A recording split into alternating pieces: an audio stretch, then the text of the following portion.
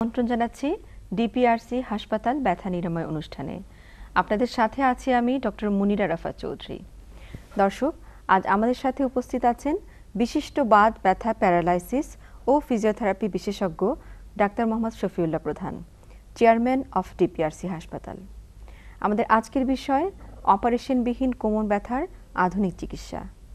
চলুন শুনিয়ে বিষয়। কেমন আছেন? আমি ভালো আছি। আপনি কেমন আছেন? জি আমি ভালো আছি।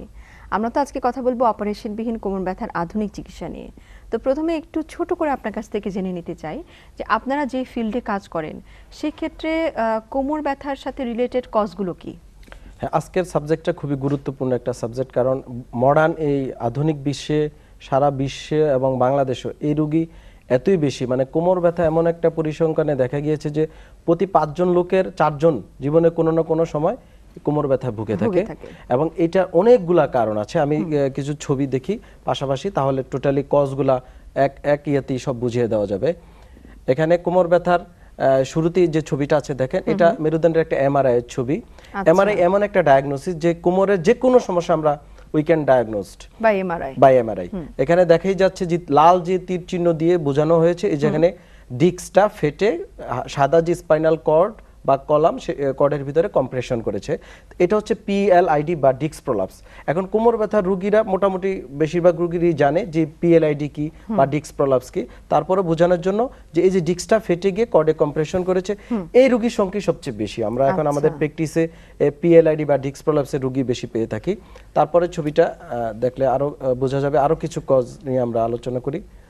এটা এটা হচ্ছে মেরুদণ্ডের হাড়ের কিছু আপনার গঠনগত সমস্যা সেটা হচ্ছে উপরের যে বোনস তারপরে আরেকটা বোনস নিচে আরেকটা বোনস মাঝখানে বোনসটা দেখেন একটু সামনে চলে আসছে। আচ্ছা। এটা হচ্ছে স্পন্ডাইলোলিস্থেসিস মানে কোমর ব্যথার আরেকটা কজ যেটা এটা বেশিরভাগ ক্ষেত্রে হয়ে থাকে কেউ পড়ে গিয়ে আঘাত পেলে রোড অ্যাক্সিডেন্ট উঁচু স্থান থেকে পড়ে গিয়ে বিভিন্নভাবে যদি আঘাত পায় তাহলে স্পন্ডাইলোলিস্থেসিস হতে পারে। আচ্ছা এটাও কি এমআরআই বোঝা যায়? হ্যাঁ এইটাও এমআরআই খুব সহজেই আমরা ডায়াগনোসিস করতে পারি। অনেক ক্ষেত্রে আমরা এক্সরে তো এটা বুঝতে পারি আচ্ছা। বাট এক্সরেতে আমরা যেটা পাই না এটা তো হার্ট টিস্যুগুলো দেখা যায় চলে আসছে হার্টটা একটু সামনে। কিন্তু পিছনে যে স্পাইনাল কর্ড বা নার্ভ অথবা মাসেলস কি অবস্থা আছে সেটা কিন্তু আমরা মানে কম্প্রেশনটা বোঝা যাবে বোঝা যায় না। সেক্ষেত্রে হয়তো আমাদের আচ্ছা। প্রয়োজনে একটা এমআরআই করে দেখতে হয়। এটা হচ্ছে স্পন্ডালোলিস্থিসিস একেবারে কমন অ্যানাদার কজ তারপরে আরেকটা ছবি দেখলে বোঝা যাবে। এটা দেখেন এটা এমআরআই যেটা এই যে ইতিপূর্বে যে ছবিটা আমরা দেখলাম স্পন্ডালোলিস্থিসিস যে যদি এমআরআই করি গোল দিয়ে আমি দেখিয়েছি এখানে স্পাইনাল কর্ড সাদা এসে কিন্তু এখানে কম্প্রেসড হয়ে গিয়েছে। আচ্ছা। এখানে হাড়টা একটু সামনে চলে যাওয়াতে উপরের হাড় থেকে নিচের হাড় যেমন একটার উপর একটা বসানো থাকার কথা ছিল সেটা একটু সরে যাওয়াতে এখানে কর্ডটা এখানে মনে হয় যে একটা প্যাচ খেয়ে গিয়েছে ওখানে। এটা এটা মানে একদমই সরু হয়ে গেছে সরু হয়ে গেছে। তো এটা হচ্ছে স্পন্ডাইলো লিস্থিসিসের কারণে এখানেও স্পাইনাল কর্ডে কিন্তু কম্প্রেশন হতে পারে।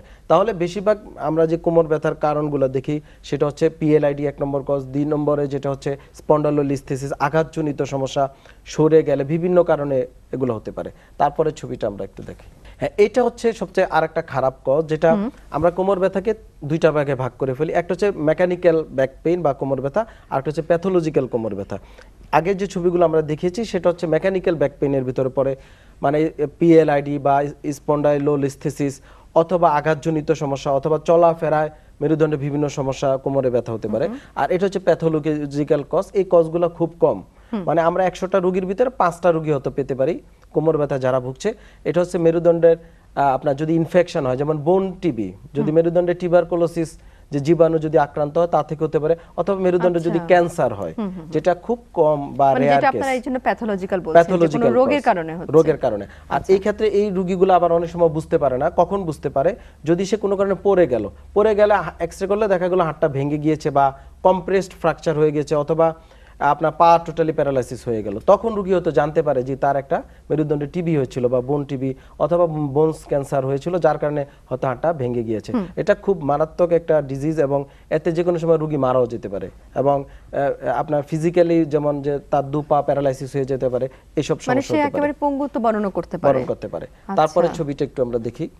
এটা হচ্ছে মেরুদণ্ডের একটা আপনার অ্যালাইনমেন্টের সমস্যা। দেখেন আমরা পিছন থেকে যদি মেরুদণ্ডের হাড় দেখি তাহলে দেখা যাবে পুরো হাড়টা সিদ্ধারাটা কিন্তু সোজা থাকবে। পিছন থেকে দেখলে পাশ থেকে দেখলে কিছুটা আঁকা বাঁকা থাকবে। কিন্তু পিছন থেকে দেখেন দুইটা হাড়ি দুই দিকে বোঝা যায় মেরুদণ্ডটা স্পাইনটা বেঁকে গিয়েছে বিভিন্ন। এটা আমরা ডিফর্মিটি বলি স্কোলিসিস এবং কাইফোসিস এবং লর্ডোসিস এগুলো হচ্ছে মেরুদণ্ডের ডিফর্মিটি আচ্ছা মানে এটা গঠনগত কোনো প্রবলেম থাকলে প্রবলেম থাকলে হতে পারে সে থেকে আচ্ছা। কোমরে ব্যথা হতে পারে। আর আরেকটা হচ্ছে যারা পিএলআইডি ভুগছে দীর্ঘদিন এবং কিছু আর্থ্রাইটিস রোগ আছে যেমন অ্যানকালোজিং স্পন্ডিলাইটিস তারপরে বিভিন্ন বাচ্চাদের বিভিন্ন আর্থ্রাইটিস থাকে মধ্যবয়সী মানুষের আর্থ্রাইটিস তা থেকেও কিন্তু স্পাইনটা আস্তে আস্তে বেঁকে যেতে পারে। অথবা পশ্চারাল যেটা আমরা বলছিলাম যে পিএলআইডি রোগী যদি সঠিক সময় চিকিৎসা না করে পিএলআইডি রোগী আস্তে আস্তে এইভাবে মেরুদণ্ডটা বেঁকে যেতে পারে বা স্পাইনাল ডিফর্মিটি আমরা আসতে পারে। এই কজগুলা ক্লিয়ার মানে মেরুদণ্ডের সমস্যাগুলো আমাদের প্র্যাকটিসে আমরা প্রায়ই পেয়ে থাকি। এর ভিতরে প্রত্যেকটা রুগী বিভিন্ন রোগে হয় কেউ লিস্থেসিসে ভুগছে অথবা পিএলআইডিতে ভুগছে অথবা কেউ আর্থ্রাইটিস জনিত সমস্যা ভুগছে অথবা সিম্পল একটা লিগামেন্ট ইনজুরি থেকেও কিন্তু কোমর ব্যথা ভুগতে পারে। সেটা নিয়ে আমরা আচ্ছা। প্রায় পেয়ে থাকি। হয়তো ভুল চিকিৎসা হচ্ছে যে তাকে ব্যথার ওষুধ খাওয়াচ্ছে বছরের পর বছর অথবা তাকে ফিজিওথেরাপি দিয়ে যাচ্ছে। পুরো স্পাইনে ফিজিওথেরাপি দিচ্ছে। কিন্তু সিম্পল আমি যদি ডায়াগনোসিস করে দেখি তার হয়তো একটা লঙ্গিচিউডিনাল লিগামেন্ট বা একটা কোনো একটা ছোট লিগামেন্ট হতো কোনো কারণে স্প্রেন বা স্প্রেন ছিঁড়ে গেছে অথবা ইনজুরি হয়েছে। তা থেকেও কিন্তু তার কোমর ব্যথা হতে পারে। হতে পারে। আসলে আপনি যেটা বলছেন যে আমরা কারণটা জেনেই ট্রিটমেন্ট করাটা সবচেয়ে জরুরি। আমরা কারণটা মোটামুটি শুনে নিয়েছি। এরপরে যাব এটার উপসর্গ এবং ট্রিটমেন্ট নিয়ে, কিন্তু এটা বিরতি থেকে ফিরে এসে। আমরা জানি আপনার প্রিয়জন আপনার জন্য কতটা গুরুত্ব বহন করে, আর তাই সঠিক ডায়াগনস্টিক রিপোর্টের জন্য আপনারা আমাদের কাছেই আসেন। আমরা বিশ্বাস করি প্রপার ডায়াগনোসিস কনসালটেশন পেইন ও প্যারালাইসিস চিকিৎসা, পুনর্বাসন আমাদের সব আয়োজনই সব সময় আপনাদের জন্য চব্বিশ ঘণ্টা খোলা।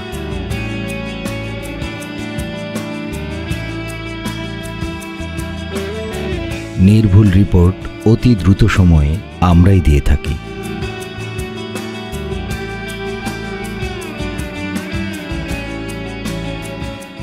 আমরা চাই না আপনারা বারবার আমাদের কাছে ফিরে আসুন, তবুও আমরা আছি সব সময় সর্বদা আপনাদের পাশেই। DPRC hospital and diagnostic lab. আস্থা, বিশ্বাস ও নির্ভরতায় অবিচল। আমরা কথা বলছিলাম অপারেশনবিহীন কোমর ব্যথার আধুনিক চিকিৎসা নিয়ে। চলুন আমরা বাকি বিষয়টা নিয়ে শুনি। আমরা কথা বলছিলাম অপারেশনবিহীন কোমর ব্যথার চিকিৎসা নিয়ে। আমরা মোটামুটি কারণগুলো বুঝে ফেলেছি। আর এটা আমরা সবাই জানি যে সাধারণত এই ব্যাকের ব্যথা বা স্পাইনের ব্যথার জন্য খুব ব্যথা হয় পেশেন্টদের। ব্যথার সাথে সাথে এটা হাঁটু, কোমর বা পায়ের নিচেও চলে যেতে পারে। তো সাধারণত আপনারা যখন একটা পেশেন্টকে ডায়াগনোসিস করেন যে তার পিএলআইডি তো অনেক সময় দেখা যায় যে অনেকে বলে থাকেন অপারেশনের কথা। তো আপনারা তো বলছেন অপারেশন বিহীন এটা কেন বলছেন যুক্তিটা কি? হ্যাঁ অবশ্যই আমরা যে কজগুলো দেখলাম যে বিরতির আগে যে বেশিরভাগই আমরা পিএলআইডি রুগী বেশি পাচ্ছি। আর ভিতরে কজ হচ্ছে বেশিরভাগ আমরা ইয়াং রুগীগুলো এখন পাচ্ছি বাংলাদেশে। প্লাস সারা ওয়ার্ল্ডে ইয়াং রুগীরা বেশি পিএলআইডিতে ভুগছে। তো পিএলআইডির আমরা কয়েকটা আবার টাইপস আছে। এখানে আমি জাস্ট একটা ছবি দেখিয়েছিলাম যে একটা পিএলআইডির একটা কজ এখানে ডিক্স বালজিং ডিক্স প্রোট্রিউশন ডিক্স এক্সট্রিউশন তো প্রথমত যদি কোমর ব্যথা শুরু হয় পিএলআইডি সেটা ডিক্সটা বালজ হয় আচ্ছা, বা মানে ফুলে। ফুলে উঠে হ্যাঁ। মানে সে প্রেসার খাওয়াতে আস্তে আস্তে পিছনে সে মানে প্রোট্রিশন আর আগে ফুলে উঠে তখনই কিন্তু কোমর ব্যথাটা শুরু হয়ে যায় রোগীর। সেখানে যে ভুল ট্রিটমেন্ট হচ্ছে আমাদের দেশে হতে সারা ওয়ার্ল্ডে অনেক সময় হয়ে থাকে যে ব্যথার ওষুধ খেয়ে খেয়ে রুগী ম্যানেজ করার চেষ্টা করে। এটা একটা ভুল ট্রিটমেন্ট বা যার কারণে রুগীটা কিন্তু কনফার্ম ডায়াগনোসিস করা হয় নাই এবং আস্তে আস্তে দ্বিতীয় ধাপে চলে যায় সেটা হচ্ছে ডিক্স প্রোট্রিউশন তো ডিক্স প্রোট্রিউশন সেটা সেটা হচ্ছে দ্বিতীয় ধাপ। তারপরে যদি সেটা আরও সঠিক সময় না হয় সেটা ডিক্স টোটালি এক্সট্রুশন বা টোটালি ভিতরে যে আপনার থাকে নিউক্লিয়াস পালপোসাস সেটা যে ফাইব্রোসাসটা বা কভারটা ফেটে সে বের হয়ে স্পাইনাল ক্যানেলে চলে যায় অনেক সময়। আচ্ছা। সেটা কিন্তু একেবারে মেডিকেল ইমার্জেন্সি হয়ে যায়। তো সেই রুগীর পরিমাণ একেবারেই কম। এর আগে হয়তো রুগীরা ডায়াগনোসিস করে ফেলতে পারে। বাট এক্সট্রুডেড ডিক্স কিন্তু আপনা- আপনার আলটিমেটলি আবার অপারেশনে যেতে হবে। সেটা একেবারে লাস্ট স্টেজ তবে এর আগেই রুগীগুলো কিন্তু আমাদের কাছে আসে বা সারা বিশ্বে বিভিন্ন ডাক্তারের কাছে তারা আচ্ছা আমরা চাবো যে এক্সট্রুশনের আগে আপনাদের কাছে আসুক বা তখন ট্রিটমেন্টটা হোক। তো সাধারণত আমি এটা অনেক অনেকেই প্রশ্ন করেন যে ফিজিওথেরাপি একবার শুরু করলে সারা জীবন নিতে হয়। তো আপনাদের এখানে যে অপারেশনবিহীন পিএলআইডি চিকিৎসা করে থাকেন এইটার ফিজিওথেরাপির রেজিম কি এবং এটাকে সারা জীবন করতে হবে কিনা? অবশ্যই এটার সাথে আমি একমত না যে ফিজিওথেরাপি একবার নিলে সারা জীবন নিতে হবে। Physiotherapy is a system of medicine এই ক্ষেত্রে আমরা কোনো প্রকার ব্যথার ওষুধ ছাড়াই রুগীকে আমরা চিকিৎসা দিয়ে থাকি। এবং পিএলআইডি বলেন মেরুদণ্ডে যে কোনো সমস্যার যদি সেটা প্যাথোলজি না হয় আমরা এই রোগীগুলাকে বাই থেরাপির মাধ্যমে রোগীগুলাকে সারিয়ে উঠাইতে পারি। যদি কোনো রোগী একবার সেরে যায় তাকে কিন্তু আবার বারবার ফিজিওথেরাপি নেওয়ার প্রয়োজন হয় না। আচ্ছা। দরকার এডুকেশন আমরা সাজেস্ট পিএলআইডি রুগীকে হয়তো বলি চার থেকে ছয় সপ্তাহ হসপিটালাইজড করে আমরা রেগুলার বিভিন্ন প্রকার থেরাপি দিয়ে থাকি যেমন ডিকম্প্রেশন থেরাপি পাশাপাশি ইলেকট্রোথেরাপি ম্যানুয়াল থেরাপি এবং এক্সারসাইজ এগুলো আমরা দিয়ে থাকি দিয়ে রোগীটা হয়তো ভালো হয়ে গেল। আচ্ছা। তাকে আমরা কজটা নির্ধারণ করে দিই যে আপনার চেয়ারে বসার কারণে এটা হচ্ছে অথবা আপনি নিচে বসে যেভাবে কাজ করেন তা থেকে হচ্ছে অথবা তার পেশাগত জিনিসটা আমরা এখানে ইভালুয়েট করি। মানে তার লাইফস্টাইলটা আপনারা গবেষণা করেন। করে আমরা তাকে মডিফিকেশন করে দিই যে আপনার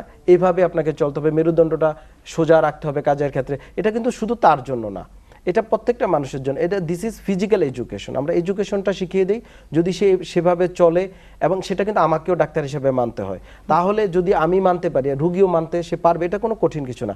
তাহলে যদি সে সঠিকভাবে মানতে পারে তার শোয়ার বিছনাটা আমরা কারেকশন করে দিই পাতলা বালিশ দিতে বলি ঘাড়ে বিছনা কারেকশন করতে বলি চেয়ারটা আমরা কারেকশন করে দিই। যদি সে নিজেই ড্রাইভ করে ড্রাইভিং আমরা কারেকশন করে দিই। পেশাগত কাজে সে কীভাবে সে করবে আমরা কারেকশন করে দিই। দিলে কিন্তু আর তাকে আর কখনো বারবার ফিজিওথেরাপি নিতে হয় না। আচ্ছা তাহলে আপনারা যে ব্যায়ামগুলো শিখিয়ে দেন সেগুলো কি তার বাসায় প্র্যাকটিস করতে হয় মাঝে মাঝে? অবশ্যই সেটা হচ্ছে থেরাপিউটিক এক্সারসাইজ এক্সারসাইজগুলো আসলে এক এক রোগের ক্ষেত্রে বা কোমর ব্যথার বিভিন্ন কজ অনুযায়ী আমরা এক্সারসাইজগুলো দিয়ে থাকি। একটা আর্থ্রাইটিস রোগীর ক্ষেত্রে যে এক্সারসাইজ দিব কিন্তু পিএলআইডি রোগীর ক্ষেত্রে সেই এক্সারসাইজ হবে না। আমি প্রায় প্র্যাকটিসে পাই যে ভুল এক্সারসাইজ দেওয়া হচ্ছে। মনে করে যে এক্সারসাইজ করলে মনে হয় ব্যথাটা সেরে ভাবে যাবে যে সবার জন্য একই। একই রকম। এটা কিন্তু খুব ভুল। আচ্ছা। বিকজ এক্সারসাইজটা কিন্তু রিসার্চ করার জিনিস এবং এখনও রিসার্চ হচ্ছে। আমরাও কিন্তু প্রতিনিয়ত এক্সারসাইজ রিসার্চ করা হচ্ছে, প্রতিনিয়ত যে পিএলআইডি ডিক্সের ক্ষেত্রে একরকম প্রোলাপসের ক্ষেত্রে আরেক রকম আর্থ্রাইটিসের ক্ষেত্রে ইনজুরির ক্ষেত্রে আরেক রকম। তো এগুলো আমরা অবশ্যই প্রত্যেকটা রুগীকে অ্যাসেস করে সে যখন ভালো হয়ে গেলো হাসপাতালে থেকে চলে যাওয়ার সময় তাকে সবগুলো আমরা রিঅ্যাসেস করে তাকে এক্সারসাইজগুলো শিখিয়ে দিই।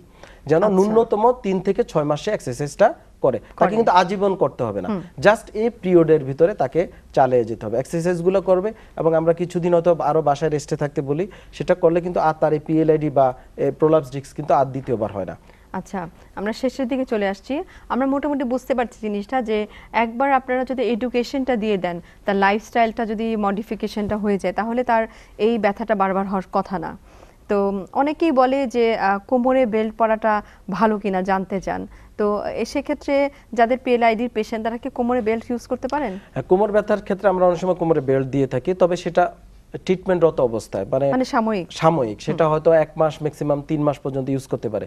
এর ভিতরে রুগীকে বিশেষজ্ঞ চিকিৎসকের শরণাপন্ন হয় কনফার্ম ডায়াগনোসিস করে তাকে ফিজিওথেরাপি হসপিটালাইজ যদি প্রয়োজন হয় করে তাকে নিতে হবে।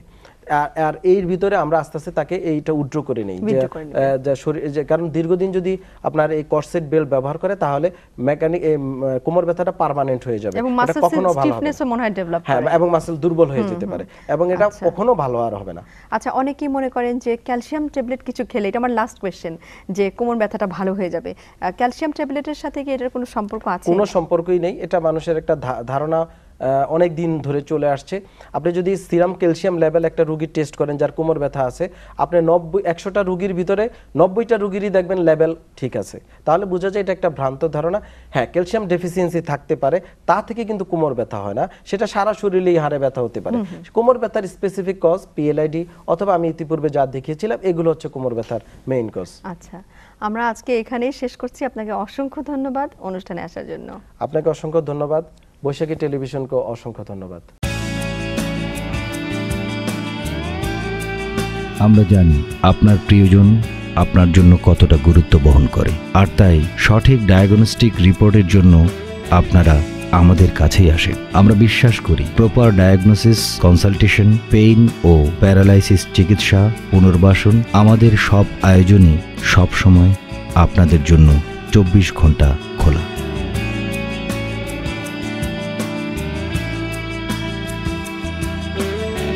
নির্ভুল রিপোর্ট অতি দ্রুত সময়ে আমরাই দিয়ে থাকি।